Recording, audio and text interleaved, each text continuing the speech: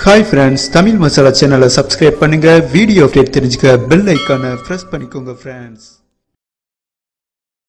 France India versus New Zealand மூன்றாவது T twenty match இந்திய அணியால் வின் பண்ணவே முடியாத சூழல் இருந்துச்சு. இந்த மேட்ச் பார்த்தவங்களுக்கு தெரியும் ஒரு வாய்ப்பு கூட இல்ல பட் மேஜிக் வெற்றியாக மாற்றியவர் hitman Rohit Sharma super over last இரண்டு பால் வெற்றிக்கு பதினோரு ரன் தேவைப்பட்டது. சரியான பிரஷர் சூப்பர் ஓவர் முதல் பந்து ரோஹித் சர்மா இரண்டு ரன் எடுக்க போய் ரன் அவுட்ல இருந்து மிஸ் ஆயிருப்பாரு. ரன் அவுட்ல இருந்து தப்பிக்க டைவ் அடிச்சு சரக்கிட்டு போயிருப்பாரு. அந்த டைம் வாட்சிங் பண்ணியிருந்தீங்கன்னா தெரியும் ரோஹித் சர்மாவுக்கு கையில் சில பல கீச்சல்கள் ஏற்பட்டுச்சு. பட் இவ்வளவு நெருக்கடியில் சூப்பர் ஓவர் லாஸ்ட் இரண்டு பால் பால் பதினோரு ரன் தேவைப்பட்டுச்சு. ரியாலிட்டியா சொல்ல போனால் இந்த பிளேஸ்ல எம்எஸ் தோனி இருந்தாலே பினிஷ் பண்ணிருப்பது கடினம். பட் ரோஹித் சர்மா ஒரே போக்கஸ்ல இருந்தாரு. அடுத்தடுத்து ரெண்டு பால் சிக்ஸர் அடிச்சு சூப்பர் ஓவர் இந்தியா திரில் வெற்றியை பதிவு செய்தார் ஹெட்மேன் பட் என்றுமே மேன் மக்கள் மேன் மக்கள் தான். சற்று முன் பிரஸ் மீட் கொடுத்த ரோஹித் சர்மா வெற்றிக்கு எந்த விதத்திலும் நான் காரணம் அல்ல முழுமையான காரணம் முகமது சமி என்றும் எளிமையாக பேசியிருக்காரு. இதனால் மட்டுமே கிரிக்கெட் ஃபேன்ஸ் அனைவரும் ஹெட்மேன் என்று போற்றப்படுகிறோம். ஹமில்டன் வெனியை பொறுத்தவரை ஒன் எயிட்டி டார்கெட் போதுமானது. நியூசிலாந்து இரண்டாவது பேட்டிங் பண்ணும்போது மிகவும் கடினமாக இருந்துச்சு. ஸ்பின் அட்டாக் சாதகமாக இருந்துச்சு. அதை சாதகமாக பயன்படுத்தி கொண்ட ரவீந்தர் ஜடேஜா அண்ட் சகால் வேற லெவல் பவுலிங் போட்டாங்க. நியூசிலாந்து பேட்ஸ்மேனை டாமினேட் பண்ணாங்க. பட் கேன் வில்லியம்சன் இந்த கஷ்டமான சூழலில் வேற லெவல்ல பேட்டிங் பண்ணாரு. கடைசி ஆறு பந்த் நியூசிலாந்து வின் பண்ண ஒன்பது ரன் தேவைப்பட்டது. Top most batsman Ross Taylor current ஃபார்ம்ல இருக்கும். கேன் வில்லியம்சன் பிளே பண்ணாங்க. லாஸ்ட் ஓவர் சமி வீசிய முதல் பந்தில் ராஸ் டெய்லர் சிக்ஸர் அடிச்சாரு. ஐந்து பந்தில் மூன்று ரன் வெற்றிக்கு தேவைப்பட்டது. எந்த ஒரு அணியாக இருந்தாலும் வின் பண்ணிருப்பாங்க. மேட்ச் கையை விட்டு போச்சு. நினைச்சோம். பட் முகமது சமி நேர்த்தியாக பவுலிங் போட்டார். இப்படி ஒரு பவுலிங் அட்டாக் சாத்தியமே கிடையாது.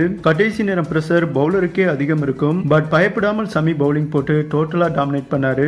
ராஸ் டெய்லர் போன்ற பெரிய பேட்ஸ்மேனை ஆக்கர் பால் போட்டு லாஸ்ட் பால் சமி பினிஷ் பண்ணிய விதம் சாத்தியமே இல்லாத ஒன்று. சமி வீசிய கடைசி ஓவர் தான் வெற்றிக்கு முழுமையான காரணம். சூப்பர் ஓவர் கடைசி இரண்டு பந்து நான் சிக்ஸர் அடிச்சு பினிஷ் பண்ணாலும் மேட்ச் டை பண்ணி சூப்பர் ஓவர் கொண்டு வந்தவர் முகமது சமி இந்த வெற்றி முழுமையாக அவருக்கு மட்டுமே போய் சேரும் என்றும் வேற பிரபல பிரஸ் மீட் பேசியிருக்காரு ரோஹித் சர்மா. நிருபர்கள் சூப்பர் ஓவர் பற்றி ரோஹித் சர்மாவிடம் அந்த பிரஷரை சமாளிச்சு எப்படி சிக்ஸர் அடிச்சு ஹேண்டில் பண்ணீங்க? என்றும் சூப்பரான கொஸ்டின் பண்ணாங்க. வேற லெவல் ஆன்சர் பண்ணாரு இப்படி ஒரு பிரஷரான சூழல் எம் எஸ் தோனியிடம் இருந்து பலமுறை லேர்ன் பண்ணியிருக்கேன். எம் எஸ் தோனியின் நிதானமான வேகம் பயன்படுத்தினேன். சூப்பரா ஒர்க் அவுட் ஆச்சு. எம் எஸ் தோனி போல் பினிஷ் பண்ண முடிந்தது என்றும் செம் ஆன்சர் பண்ணியிருக்காரு ஹெட்மேன் இந்த வெற்றிக்கு முழுமையான காரணம் நான் கிடையாது. சூப்பர் ஓவர் சூழலை கொண்டு வந்தவர் முகமது சமி. அவருக்கே இந்த வெற்றி போய் சேரும் என்றும் எளிமையுடன் பேசியிருக்காரு ரோஹித். இந்த பாயிண்ட் ஆஃப் வியூ பற்றி உங்க ஆப்ஷனை கமெண்ட் பண்ணுங்க. நன்றி ஃப்ரெண்ட்ஸ்